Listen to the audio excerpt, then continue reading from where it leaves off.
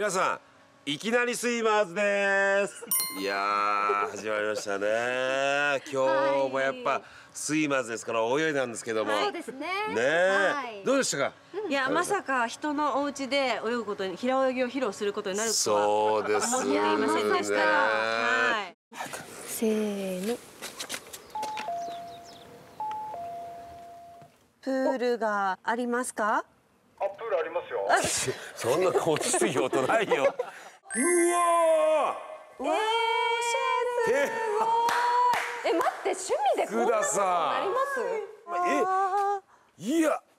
もうリゾートじゃない。わ、夢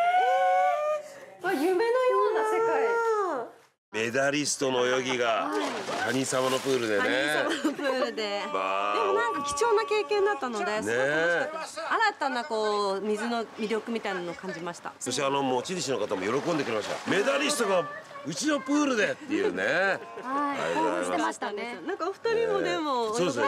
私たちもね、泳いだんですよね。泳いでてどうでした？まあまあ、あの華麗なる泳ぎを。華麗なる泳ぎびっをしてくりしました。